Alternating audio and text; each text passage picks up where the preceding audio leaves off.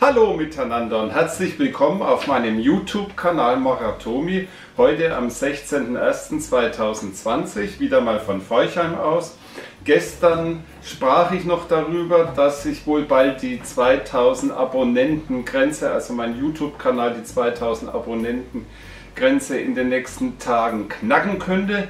Zu meiner totalen Überraschung wurde das schon letzte Nacht die 2000er Grenze überschritten und daher möchte ich mich bei euch allen herzlichst bedanken. Hier habe ich ein extra schönes Bild dazu gezeichnet, ein schönes Plakat dazu gemacht. Ich hoffe, man sieht es schön, dass hier so das Licht passt. Also super, total, danke, danke, danke und nochmals danke. Ja, und da habe ich mir gedacht, was machen wir denn da? Äh, da müsste man ja fast mit Sekt anstoßen, aber leider ich vertrage einmal keinen Sekt und so früh am Tag ist auch Sekt eigentlich noch gar nicht angebracht. Also möchte ich jetzt da nicht mit, nicht mit etwas nicht alkoholischem mit euch anstoßen. Damit das Mineralwasser nicht ganz so fade schmeckt, nehme ich noch etwas Holundersirup dazu. Das gibt dann vielleicht auch eine bisschen schönere Farbe. Schmeckt dann ein bisschen äh, etwas besser. Naja, dann schauen wir mal, ob ich das jetzt ohne Unglück schaffe, da den schönen Glückwunschtrunk zusammenzustellen. Ja, das schäumt doch richtig schön. Hoffentlich nicht gleich über. Das wunderschön aus. Das ist doch schöner als der schönste Sekt oder Champagner. Ich stoße auf euer Wohl an und auf die nächsten 2000 Abonnenten, die noch zusätzlich dazukommen werden. Also Prost. Ah, schmeckt richtig gut diese Mischung aus Holundersirup und Mineralwasser. Zu den 2000 Abonnenten ist noch zu sagen, für die ersten 1000 Abonnenten habe ich neun Jahre gebraucht, für die zweiten 1000 gerade mal neun Monate. Wenn die dritten 1000 natürlich in neun Wochen dann kommen, dann wäre es natürlich noch besser. Damit wir das schaffen, möchte ich euch bitten, falls ihr meinen Kanal noch nicht abonniert habt, ganz schnell den Abonnieren-Button anzuklicken und am besten auch noch die Klingel, Klingeling und dann bekommt ihr nämlich alle meine neuen Filme mit. Also ich bin total happy, total begeistert, auch über die vielen netten Kommentare, die ich immer kriege. Auch gerne nehme ich mal kritischere Kommentare entgegen und natürlich auch für jedes Like it. Und was, ja, dann, dann habe ich überlegt, über was können wir denn den heutigen Film zum 2000. Abonnenten machen da dachte ich mir, da steht ja jetzt sowieso das Thema Prämierung der allerinteressantesten Kommentare wieder an. Daher möchte ich jetzt die interessantesten Kommentare der letzten paar Wochen mit euch durchgehen. Ja, kürzlich, also gestern hatten wir ja den Film Briefe wertvoll Teil 5 online gestellt, wo es, dass wir ja da gemeinsam nochmal auf Schatzsuche gegangen. Ich war ja dann richtig, auch schon gestern richtig happy, dass wir die 1500 Euro Grenzen in den fünf Teilen überschreiten konnten. Natürlich, wenn ich jetzt die verkaufen will, das ist dann wieder nochmal ein ganz anderes Thema, aber man sah, das war eigentlich ganz interessant. Und da sind jetzt noch keine Kommentare dazu gekommen, die ich heute besprechen möchte, aber zum Teil 4 zum Thema Briefe wertvoll in der Briefekiste. Da schreibt mir zum Beispiel Onsi Müller, das war, ja, das hat er mir gestern Abend anscheinend noch geschrieben. Hallo, könntest du ein Video machen, wie man ein Wasserzeichen erkennt? Danke. Ja, dann muss ich mal schauen. Das wäre vielleicht gar nicht so uninteressantes Thema, wie wir das dann machen können. Wasserzeichen zu erkennen ist teilweise ist relativ einfach bei manchen Briefmarken und bei anderen sind sie sehr schwer zu erkennen. Also da kommt man kaum ohne Hilfsmittel aus, um das Wasserzeichen korrekt zu erkennen. Bei Briefen ist das Thema natürlich noch schwieriger. Da wird es dann ganz schwierig. Entweder man löst dann die Marke ab, das ist ja dann auch keine gute Idee. Manche machen es und kleben es dann wieder an der gleichen Stelle auf. Oder man hält so ein bisschen so das Licht und ja, gibt so allerlei Tricks. Oder durch die warme Handfläche kann man manchmal ein Wasserzeichen erkennen. Also bei Briefen ist es ganz schwer, oft das richtige Wasserzeichen zu erkennen. Das zum Thema Wasserzeichen, aber ich schaue mal, ob wir da einen Film vielleicht machen können. Dann hat mir der Uwe, einer meiner treuesten Kommentarschreiber, die ist ja immer, die Kommentare immer recht frontiert sind. Ich muss die Brille ja so ein bisschen jetzt nach unten nehmen. Die Brille habe ich mal auf, weil ich kurzsichtig bin. Ich bin aber mittlerweile mit der Brille hier auch weitsichtig geworden. Also ohne Brille kann ich immer auf der Nähe alles ziemlich perfekt lesen. Da ist mir auch gestern, glaube ich, bei dem Film noch ein Lappschuss äh, passiert, musste ich nochmal überprüfen. Da habe ich eine, einen Brief mit einer belgischen Briefmarke als jugoslawische Briefmarke bezeichnet, weil da war so ein junger König drauf, aber das waren eigentlich dann die belgischen Königskinder. Das hatte ich dann so verwechselt auf die Schnelle, aber das ging ja alles sehr schnell durch und da kann natürlich auch mal sowas passieren. Aber jetzt zu dem, was Uwe schreibt. Hallo Thomas, tolles Briefelot, das du geschossen hast. Ich hoffe, du hast nicht so, so viel dafür bezahlt. Zu viel war es sicher nicht, aber es war auch kein totales Schnäppchen, muss ich dazu sagen. Kleine Korrektur am Rande, der Zensor bei 2002 war Amerikaner.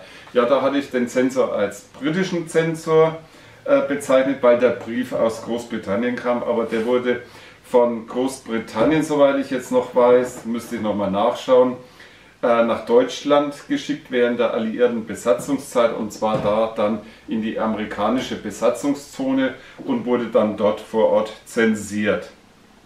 Dann schreibt er noch, Briefe dieser Art finden sich auch heute noch relativ häufig ist klar, weil da ja eigentlich fast jeder Brief aus dem Ausland zensiert wurde dann während der alliierten Besatzungszeit. Gleiches galt natürlich auch im Zweiten Weltkrieg. Das schreibt er nämlich auch. Und zwar auch solche aus Deutschland mit OKW-Zensur. Das war eigentlich auch prinzipiell so üblich, wenn da ein Brief während des Zweiten Weltkriegs äh, nach Deutschland geschickt wurde, und zwar aus dem Ausland, dann wurde der in der Regel auch zensiert. Daher sind es jetzt zwar nicht so große Seltenheiten, sie sind aber trotzdem, äh, werden sie gern gesammelt und sind dadurch interessanter als Briefe, die keine Zensur tragen. Und es sind sowieso meistens interessantere Briefe, da sie ja auch aus dem Ausland kommen und entsprechend höher frankiert werden mussten und dann auch entsprechend seltener sind. Ja, dann hatte ich ja einen Film wegen meiner Laufkarriere zum Thema Laufmedaillen gemacht, zum Thema Finisher-Medaillen. Da gab es auch ein paar Resonanzen. Einer, ein, einer empfand leider den Film als etwas langweilig. Ist schade, wenn ich den Film vielleicht etwas zu langweilig gestaltet habe, aber sicher kann man es auch nicht jedem recht machen. Ich mache alles sehr spontan, muss ich sagen. Und ich blabber dann manchmal auch vielleicht ein bisschen zu viel und dann kann es vielleicht auch mal ein bisschen langweilig werden. Aber es kamen auch sehr positive Kommentare. Da schrieb einer zum Beispiel, laufen tue ich nicht, doch, doch dafür habe ich bei Schützenfesten eine kleine Ansammlung von Auszeichnungen, bei uns Kranzabzeichen genannt, errungen. Bisweilen sind diese Abzeichen schön gearbeitet und je nach Anlass und Jahrgang auch bei Liebhabern und Sammlern von derlei Dingen gern gesehen und gesucht. Das stimmt, da gibt es wirklich sehr schöne Abzeichen auch. Also es ist nicht nur so beim Thema Laufmedaillen, beim Thema Laufen, auch bei vielen anderen Sportarten sieht man interessante Medaillen.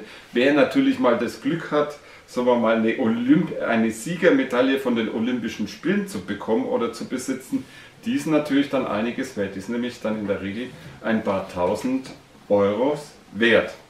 Ja, dann ist zu sagen, dass manche Schützensabzeichen, da gibt es ja auch Schützenmedaillen, da kann man noch ein bisschen auf das Thema zu sprechen. In der Schweiz wurden da zum Beispiel schöne Schützenmedaillen im 19. Jahrhundert herausgegeben mit einer normale Nominale von 5 Schweizer Franken. Ich glaube, ich habe da mal eins dieser äh, Medaillen da mal vorgestellt hier und die sind auch wunderschön anzusehen und konnten sogar als Zahlungsmittel verwendet werden. Das bestätigt dann auch, es war übrigens der Füllleser, ja richtig, die Schützendaler kommen noch hinzu. Neuere haben ebenfalls einen Nominalwert und man kann sie theoretisch am jeweiligen Schützenfest einlösen. Doch das macht natürlich keiner, denn die werden gesammelt. Die sind zum Ausgeben zu schade. Ich trinke nochmal auf euer Wohl, weil ich kriege schon ein bisschen trockenen Mund jetzt von dem Film. Geplapper. Dann sitzen wir mal fort. Dann ein sehr guter, gut laufender Film ist das Thema Briefmalen geerbt. Ja, weil der hatte auch einen ziemlichen Nutzwert für viele Sammler, äh, Nutzwert für viele Erben und so weiter, die eine Briefmarkensammlung zum Beispiel geerbt haben und ja, damit erst einmal äh, überfordert sind. Und der Sinn und Zweck des Filmes war ja, da eine erste Hilfe zur Hel Selbsthilfe zu liefern. Dazu schrieb Tobias Müller, Ich würde meine schöne Sammlung nie hergeben, die ich als Kind gesammelt habe, aber ich habe mich auch damit abgefunden, dass ich da nichts mehr für bekommen würde. Der Briefmarkenmarkt ist einfach tot. Wer sammelt noch was? Das Thema hatten wir ja auch schon mehrmals. Das stimmt, viele Kindersammlungen sind einfach wenig wert. Es wurde in den 60er, 70er und 80er Jahren wurde oft sehr viel Geld für Briefmarken ausgegeben. Ich hatte da früher als Jugendlicher auch ein Abo bei der Post, bezog auch die Ersttagsblätter, deren Wert, äh, deren Schürwert momentan fast höher als der Sammlerwert ist. Sehr ärgerlich, weil man dafür damals viel Geld zahlen musste. Das enttäuscht viele und das macht auch für viele dann das Briefmarkensammeln irgendwie unattraktiv. Ist aber eigentlich schade, denn wenn man jetzt so andere Hobbys äh, sich anschaut, da kriegt man ja gar nichts äh, äh, monetär zurück. Da zahlt man eigentlich nur und man erfreut sich einfach an dem Hobby. So sollte es in erster Linie eigentlich beim Sammeln auch sein. Aber was er jetzt hier schreibt, das stimmt ja nur zum Teil, denn es gibt durchaus auch Briefmarken. Wir hatten das Thema ja schon öfters, vielleicht mache ich mal auch einen extra Film zu dem Thema, die heute, äh, die gegenüber früher äh, sehr stark im Wert gestiegen sind. Ich will es nur mal vielleicht mit zwei Sätzen sagen. Ich wünschte mir eine Zeitmaschine.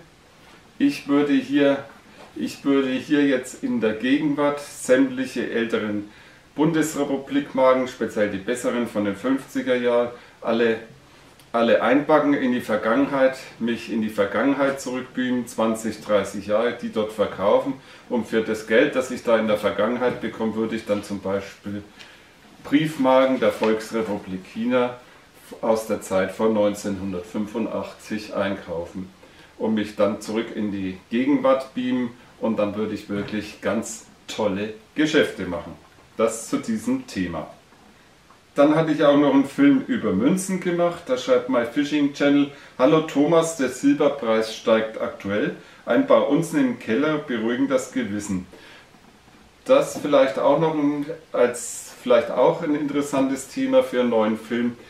Münzen mit, aus Edelmetall oder Sammelobjekte zur Krisenvorsorge eventuell anzulegen.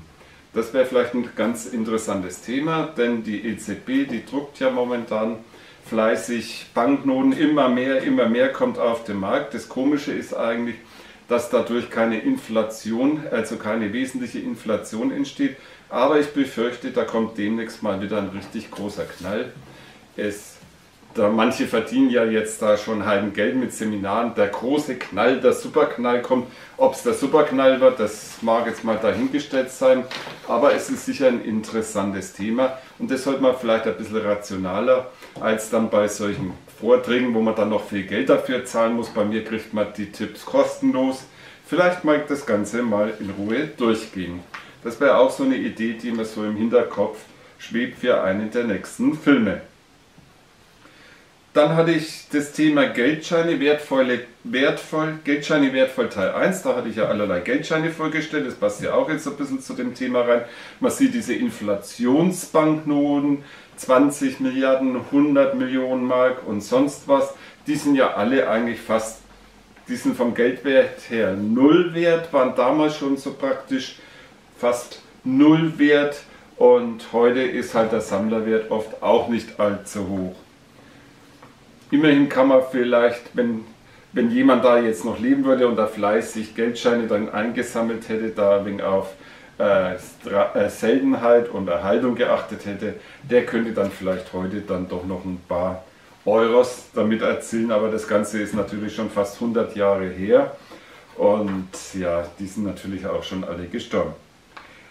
Ja, was schreibt der Fabian zu dem Geldscheinfilm? Hallo Thomas, wieder ein toller Film geworden. Ich finde, die schönsten deutschen Scheine sind die aus der Kolonialzeit. Das stimmt, da gibt es wunderschöne Scheine. Aber die sind natürlich in der Regel auch entsprechend teuer. Relativ preiswert kriegt man noch manche Notgeldscheine aus Deutsch-Ostafrika aus der Zeit des Ersten Weltkrieges. Das ist ein ganz interessantes Sammelgebiet eigentlich. Ich habe hier leider ich habe, glaube ich, keine Scheine, die ich da jetzt da mal vorstellen könnte. Für einen Film kann ich jetzt leider keinen Film machen, aber mal so kurz erwähnt. Diesen total interessant. Ja, und er schreibt noch liebe Grüße aus Sharm el-Sheikh. Von hier aus sehe ich gerade dein Video. Also meine Videos werden sogar im Urlaub in Ägypten angeguckt und das finde ich natürlich super und daher musste ich jetzt diesen Kommentar natürlich auch noch mit erwähnen.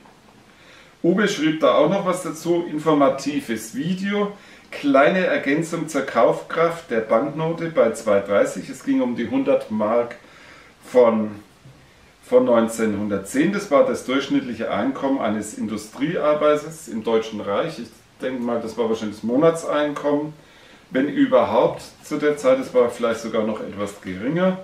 Derartige Noten hat der Durchschnittsarbeiter natürlich nicht in der Lohntüte gehabt, sondern kleinere Stückelungen. Ja, da wenn einer mal so einen 100 Markschein sah zur Kaiserzeit, der sagte dann noch, boah, oh, das ist toll. Das ist noch was ganz anderes als heute die 500-Euro-Scheine, die sie eigentlich abschaffen. Und es ist ja dazu noch zu sagen, dass es auch die 1000-Mark-Scheine damals gab von 1910 und auch früher. Das war ja dann noch mehr Geld. Und da hatte eigentlich keiner da, da nachgedacht, mal das Bargeld abzuschaffen oder solche großen Scheine abzuschaffen, wie jetzt die EZB, die ja den 500-Euro-Schein abgeschafft hat. Das heißt, den gibt es noch, aber er wird halt nicht mehr gedruckt. Ja, und er schreibt nur dazu, der 100er von 1910 wurde bis in die frühe Inflationszeit nachgedruckt und deswegen ist er eigentlich auch noch so häufig vorhanden. Das stimmt, das kann ich bestätigen. Und übrigens auch der 1000-Markschein, der müsste ja eigentlich sonst noch viel, viel seltener sein, aber wenn man den selbst in passabler Haltung ist, liegt der Sammlerwert, wir hatten, ich hatte es ja vorgestellt, vielleicht bei 2 bis 3 Euro. Oft kriegt man schon mit etwas Gebrauchsspuren auch in der 1 Euro Krabbelkiste manchmal auch für 50 Cent das Stück. Dann schreibt noch Rares für Bares, also nicht Bares für Rares, sondern Rares für Bares, historische Wertpapiere. Er schreibt als Sammler von historischen Wertpapieren, übrigens auch ein sehr interessantes Sammelgebiet. Einen Film habe ich ja schon mal darüber gemacht. Habe ich mich bislang sehr wenig bis gar nicht mit Geldscheinen beschäftigt. Ist schade, aber er, aber mein Film, also er schreibt, mein, meine Neugierde ist geweckt und ich habe deinen Kanal abonniert. Vielen Dank, Bares. Äh, Rares für Bares, ich sage schon wieder Bares für Rares, jetzt komme ich ganz durcheinander. Vielen Dank für die vielen wertvollen Informationen. Ja, das freut mich doch total. Ja, dann mache ich ja auch ab und zu Filme zu anderen Themen. Lauffilme, Wanderfilme, Tierfilme, Reisefilme. Jetzt momentan in der kalten Jahreszeit dominieren natürlich absolut die Sammlerfilme. Ich hatte auch schon mal überlegt, ob ich jetzt den Kanal in zwei Kanäle aufteilen soll. Einer, der sich dann mehr mit Laufen, Wandern, Reisen und Tiere befasst und der andere mehr mit den Sammlerthemen.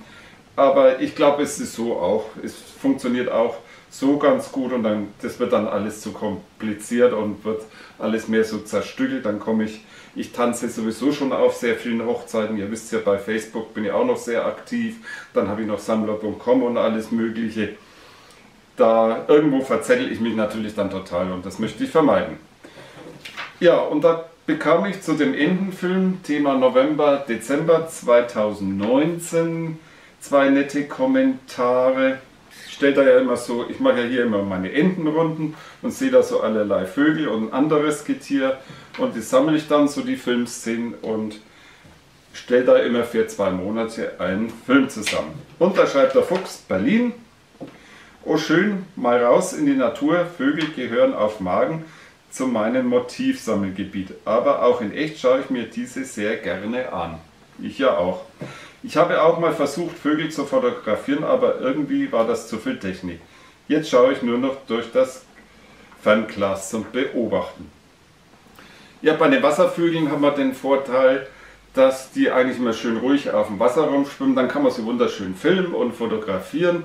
Und hier werden sie auch nicht gejagt bei uns im Altwasser, sondern nur gefüttert. Dadurch sind die total zutraulich, überhaupt nicht mehr scheu und dann kann man die natürlich wunderschön fotografieren und filmen. Ich weiß es von den Singvögeln, da ist es ganz schwer, die mal zu filmen und zu fotografieren, weil die flattern da überall mal rum und dann hat man sie einmal kurz äh, fixiert und freut sich schon über das Foto und dann äh, schießt man und dann fliegt das Vieh schon wieder weg und man hat eigentlich nur ein paar Blätter und ein paar Äste fotografiere, das ist immer alles sehr frustrierend. Deswegen liebe ich da meine Wasservögel, meine zutraulichen Wasservögel. Ja, dann hatte ich ja im Rahmen des Entenfilms auch meine Quietschenten mit präsentiert. Ich habe da auch mal schon ein paar mit auf die Entenrunde mitgenommen, habe das glaube ich auch mal irgendwann gefilmt, das ist schon ein paar Jahre her. Muss ich sie vielleicht mal wieder ausführen, Sie möchten mal wieder Ihre Artgenossen kennenlernen. Und ja, Spaß beiseite. Viel Leser schreibt zu dem Thema, so ein Quietschentchen habe ich immer auf dem Armaturenbrett stehen. Und die echten Enten leben und vergnügen sich im Bach und dem gefüllten Tankgraben bei mir in der Nähe und am See im Nachbardorf. Auch dir ein gutes Jahr 2020. Dankeschön, wünsche ich dir und allen anderen auch noch. Super, gefällt mir der Kommentar einfach. Daher musste ich ihn erwähnen. Ja, dann hatte ich einen Film zu unserem schönen Weihnachtsmarkt in Forchheim gemacht. Der ist ja auch immer sehr schön. Jetzt ist leider die Weihnachtszeit schon immer vorbei. Leider kam auch wegen dem wenig winterlichen Wetter so richtig Weihnachtsstimmung kam eigentlich nicht auf.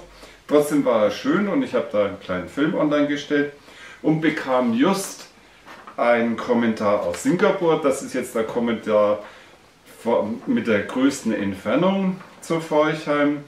Ich versuche mal meinen Kauderwelsch Englisch, ich lese es mal ab. I don't understand German, but this video was most enjoyable. Also sie schreibt, ich denke, ihr habt es verstanden, ich übersetze es trotzdem mal. Ich versuche es mal einfach ins Deutsche zu übersetzen, ist einfacher.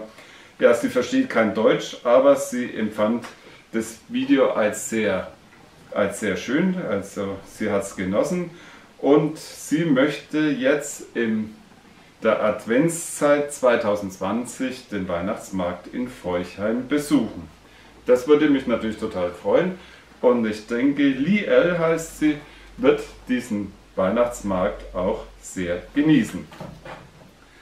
Ja, mein Mund wird schon wieder trocken. Gut, dass ich heute was hier zum Trinken habe.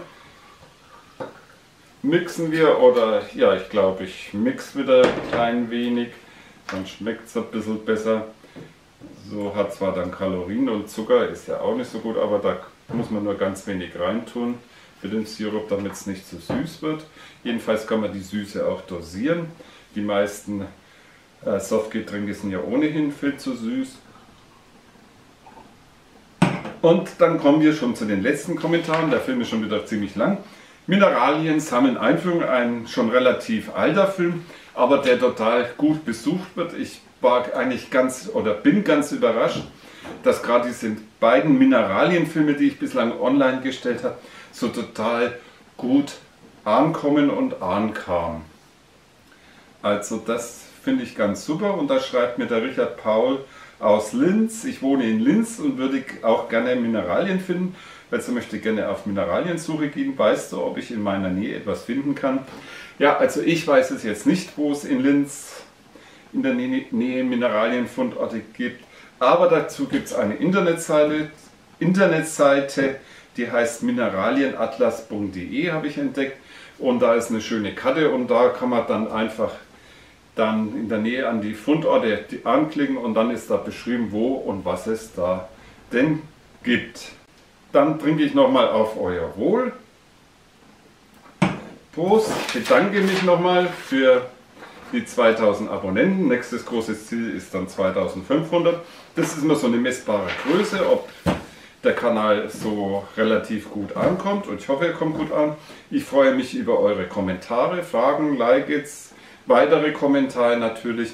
Und in der Kommentarleiste könnt ihr mir auch ein paar Anregungen oder Wünsche reinschreiben, was für Themen wir denn so in nächster Zeit machen könnten. Weil ich will ja die Filme jetzt nicht nur für mich machen, sondern in erster Linie ja für euch, damit das auch einen gewissen Mehrwert dann für uns alle eigentlich hat.